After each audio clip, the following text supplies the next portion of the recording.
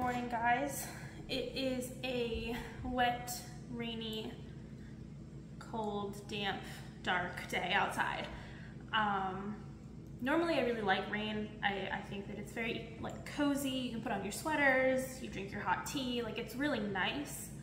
We have had so much rain this summer that everything is just like humid and sticky and damp, and it's not not fun at this point. Um, although I will take it over, you know, a 90 degree humid day. Um, anyway, this is where we are at. The first panel is almost done. Um, I just have to get all the way across this way, and then I'm going back the other way, and I'll show you what um, interesting thing is going on. I am still absolutely in love with um, the colors in this sweater. I, I did not think that I would like the purple. I, know I said that in um, episode, well, episode two, crocheting part one. Um, but I, I, really, I'm not, not a huge purple person. I don't use purple often. I don't wear purple often. Um, but it looks really good. My favorite though, still, let's see if I can find a good example.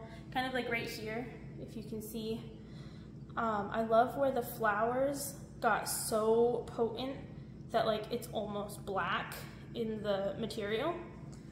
Um, there's just so much saturation of that color that it looks like there's a little black speckle and I really like those spots. Um, I am standing today because I was in the car for four, maybe five hours yesterday. Um, I ended up having to take a little road trip. And while it was fun, Alfred did not like it. He's he likes road trips, but not when they're that long. And there's nothing exciting for him to be doing. Um, so he got a little bit annoyed, but I did give him a bone and he chewed that for most of the way back. So he fine. He slept most of the way there.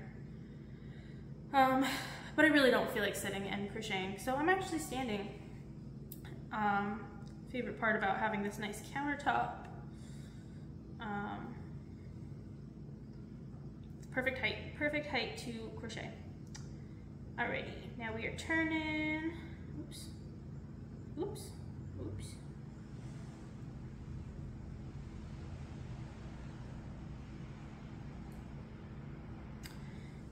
Alright, so normally this would be the completion of the front panel.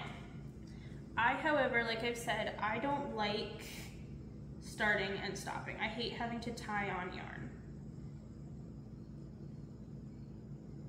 Um, so I keep going and I will actually crochet a neck hole while I'm going and then flip right over and just keep going down the front side. So it ends up kind of like looking like a poncho for a little while until we sew up the sides or whatever we're gonna do. Um, it's how I make most of my sweaters unless I'm working like in a round, going all the way through. Um, one, two,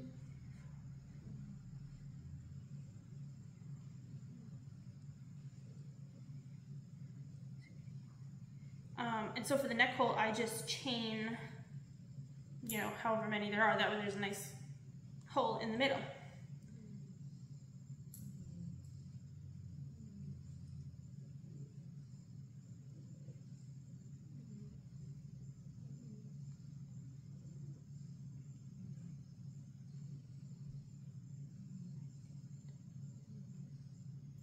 And that's why you don't talk to people while they're making because um, I can't count and talk at the same time. So when you do this, you know, you have your chain, you have to make sure that it lines up with the stitches on the bottom. You don't want to like make it lopsided and have it not line up properly. So however many you're chaining, you have to also match that on the bottom.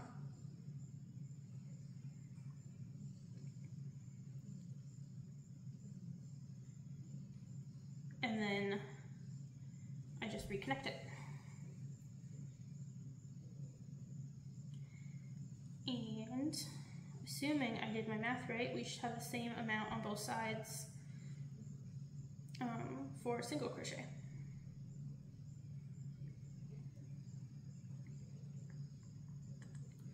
So that leaves us with like a nice little neck hole that we will add for this sweater. I'm adding a collar onto later. Um, I'm not actually writing the pattern as I go. I've got a funny little sketch um, that I like write all of the measurements and counts and stuff down and then I go back and write the nice finished pattern with all of the information there. So, we are technically on the other side. You can see this is gonna be our neck hole. Put it on, that's the sweater. Super cozy.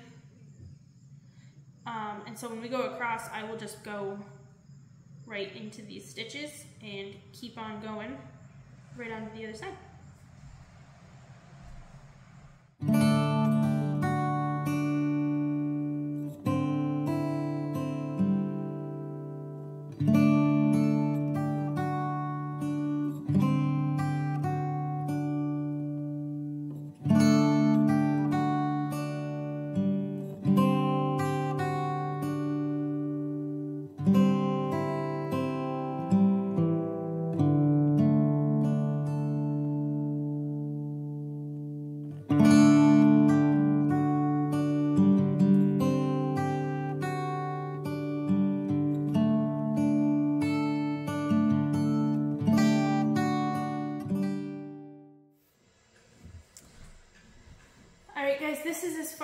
Getting today, you can see this is, you know, the shoulder and we'll be going all the way down.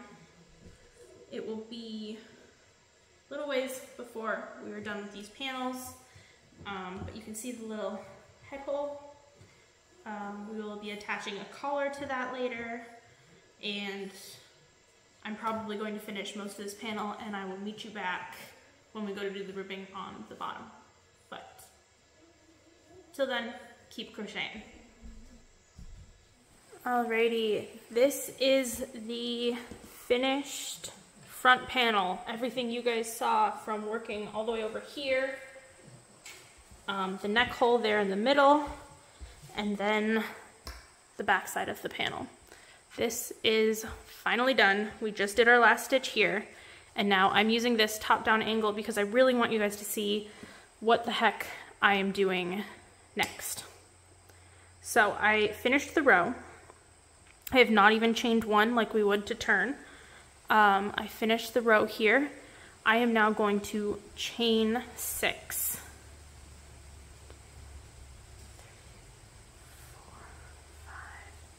Six. And turn, and I'm going to single crochet back into those.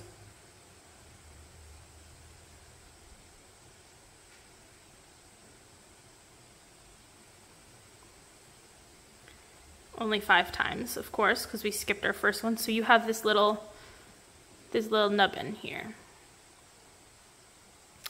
And making sure that I'm going in the right direction, we are going to now slip stitch into this second loop and turn. And now we are going to single crochet into the back loop only of these five stitches. One, two, three, four, five.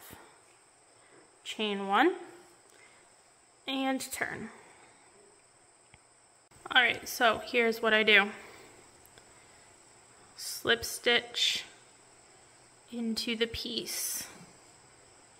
Slip stitch one more because you need two. Every ridge, there's an up and a back. So that's two of these stitches. When we did the other side, there's two stitches per ridge. So we are just creating our ridges. We're gonna go all the way along this. Let me get a little further and I will film again. So I am in the middle of a row, but I have gotten you know, a little further, you can see the ribbing. we're just doing the opposite of what we did on the first side.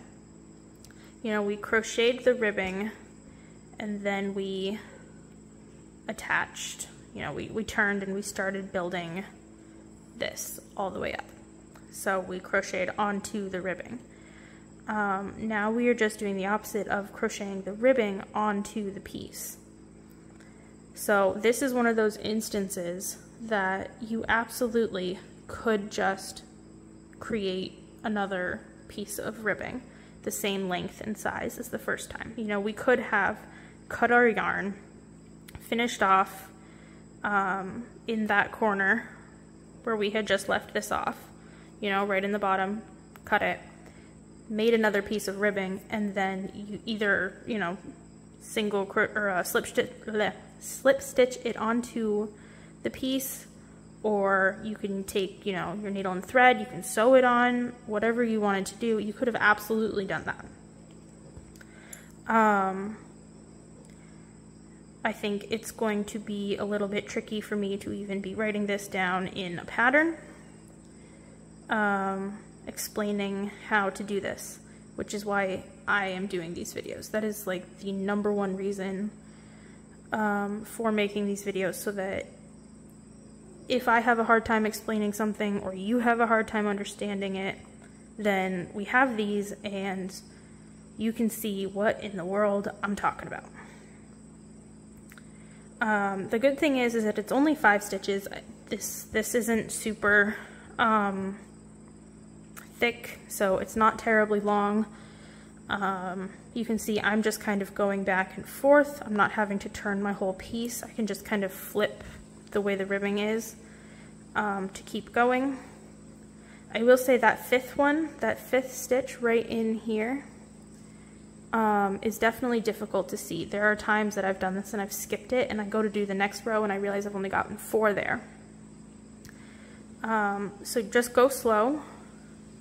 Take your time with it. That's, that's really the only thing that I can say is it's the same process of five single crochet stitches into the back of your previous um, stitches. You chain one, you turn and you go back the other direction, doing another five single crochet, crochet stitches. You just have to be very careful with where you're inserting your hook. Keep in mind this is like you can see it's already being pulled by this stitch. That means that there's already a stitch in it. I'm going right into the next one and I'm just doing the two slip stitches. One, two. Now I, I make sure to pull my yarn through because you know we're facing this direction. You turn, but you can't turn the yarn the same way you you normally would. So I pull the yarn back over the piece and then just keep working into that first stitch there. One, two, three, four,